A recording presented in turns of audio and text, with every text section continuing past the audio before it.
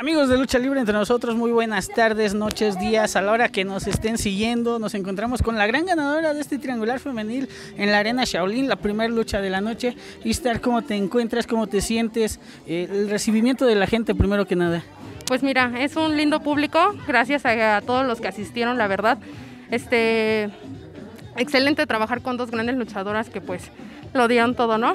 Pero aquí no importa que se hayan unido o que no se hayan unido, pues la verdad vine a demostrar que quién es Ishtar y pues se demostró, ¿no?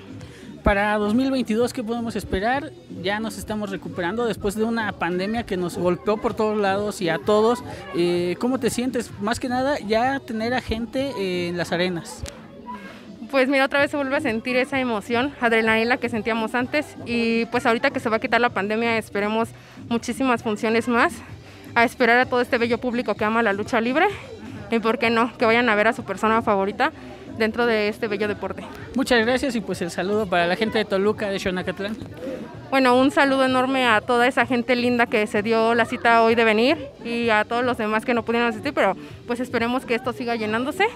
Un saludo enorme a Xonacatlán de parte de Ishtar. Sigan a, la, bueno, sigan a todos ellos. Por favor, no les pierdan pista. Muchas gracias, continuamos amigos.